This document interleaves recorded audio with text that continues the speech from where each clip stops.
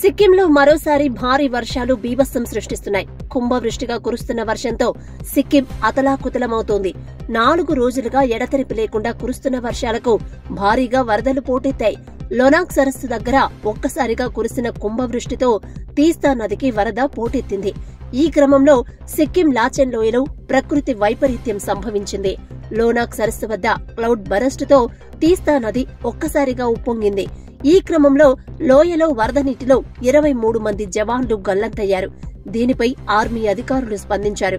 తీస్తా నది వరదల్లో చిక్కుకున్న ఇరవై మూడు మంది జవాన్లు గల్లంతైనట్టు గౌహతి డిఫెన్స్ అధికారులు చెబుతున్నారు. వారి కోసం గాలింపు ముమ్మరం చేశామన్నారు. మరోవైపు వరదల కారణంగా లోతట్టు ప్రాంతాలు నీట మునిగాయి. ప్రస్తుతం సహాయక చర్యలు కొనసాగుతున్నాయి. చుంగ్తాంగ్ డ్యాం పరివాహక ప్రాంతంలో కుండపోత కారణంగా ఇరవై అడుగుల మేర వరద ప్రవాహం కనిపించింది.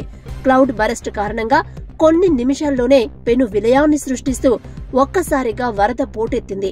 డ్యాం నుంచి వచ్చిన వరద అంతా లాచెన్ లోయలో ఆర్మీ శిబిరాలను చుట్టుముట్టేసింది. ఏం జరుగుతుందో అర్థమయ్యేలోపే క్యాంపు వరదల్లో మునిగిపోయింది.